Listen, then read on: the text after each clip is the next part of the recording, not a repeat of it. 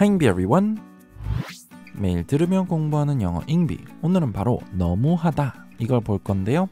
뭔가 심하다라는 표현을 알아볼 겁니다. 다양한 표현들이 있고 많이 틀리는 표현이기 때문에 오늘 알아보겠습니다. Let's go.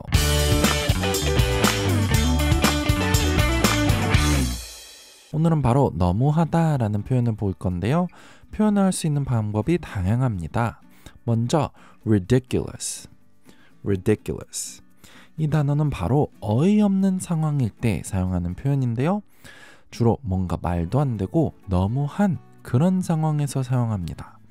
주로 감탄사처럼 짧게 이 단어 또는 짧은 문장으로 사용될 때도 있지만 뭔가가 너무하다, 말도 안 되는 거다, 어이없는 이야기다 라고 할 때 이걸 사용하셔도 됩니다. 그 이유와 함께 사용할 때도 많습니다. It is ridiculous that they think we can finish all of this today. It is ridiculous that they think we can finish all of this today. 오늘 우리가 이걸 다 끝낼 수 있다고 생각하는 건 말도 안 된다, 어이없다, 너무하다 이런 느낌으로 사용할 수 있습니다. 그래서 주로 말도 안 되고 어이없는 상황에 너무하다를 이렇게 표현하고요.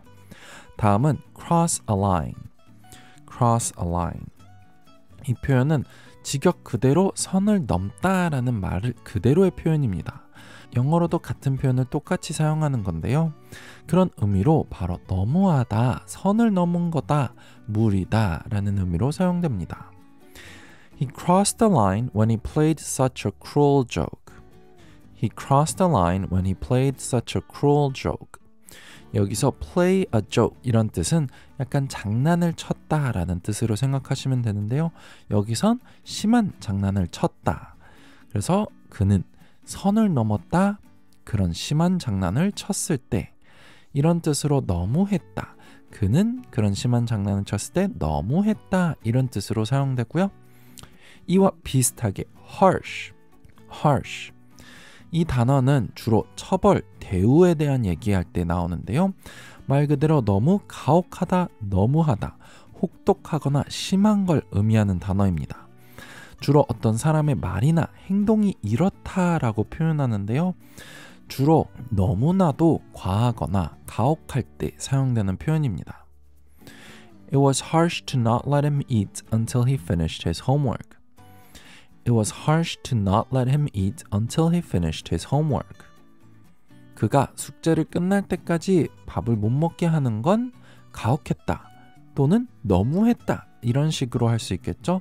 그래서 이건 어떤 행동이나 말이 너무하게 너무 가혹하거나 잔인할 때 사용할 수 있는 표현이고요. 다음은 overdo. overdo. 이 표현은 재밌는 표현입니다. 말 그대로 너무 하다라는 뜻으로 생각하시면 되는데요.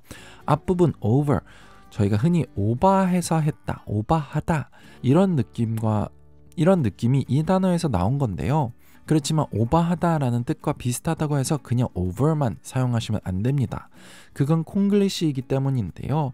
여기서 do 무언가를 하다랑 함께 쓰셔야 됩니다. 그래서 결국엔 직역으로는 오바해서 했다 라는 뜻으로 생각하셔도 됩니다. 결국은 너무하게 했다. 이런 느낌으로 너무했다. 말 그대로 그런 뜻이 됩니다. I think you overdid it when you called him names. I think you overdid it when you called him names. 그를 이름을 부르는 게 아니라 여기선 욕 또는 안 좋은 별명 그런 의미입니다. 그래서 그한테 욕을 하면서 나는 너가 너무한 것 같다. 욕을 하는 건 너무한 것 같다. 다음은 mean. mean. 이건 못됐다 라는 표현을 할 때 많이 사용하는데요. 좀 유치한 단어로 많이 생각합니다. 어릴 때 자주 괴롭힐 때 사용하던 단어이기 때문인데요.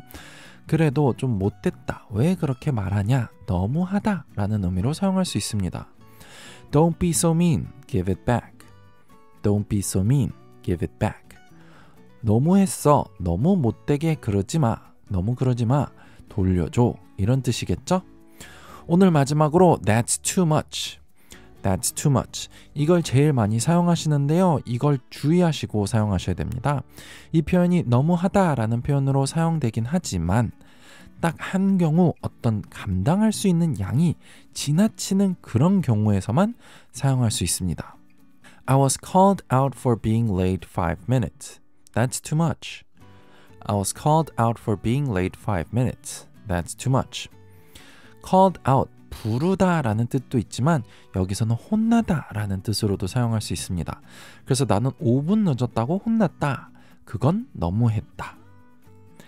네, 오늘은 너무하다라는 표현을 찾아봤습니다. ridiculous, cross a line, harsh, overdue, mean, that's too much.